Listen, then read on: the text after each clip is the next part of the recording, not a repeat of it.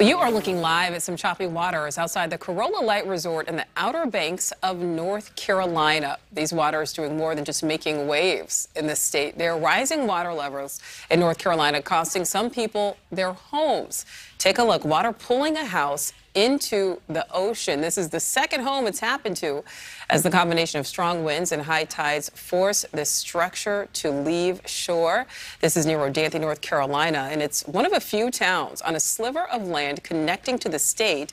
Meteorologist Steve Fundaro from our Norfolk, Virginia station is at the beach monitoring those high tides.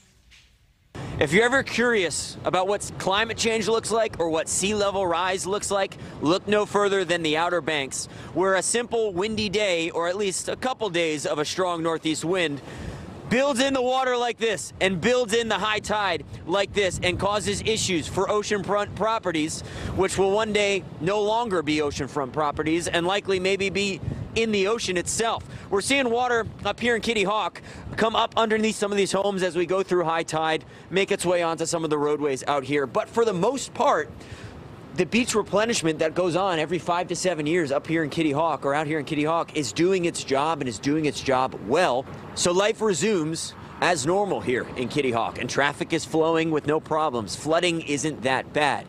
It's a hefty price to pay, but it's the price you pay to deal with a changing climate.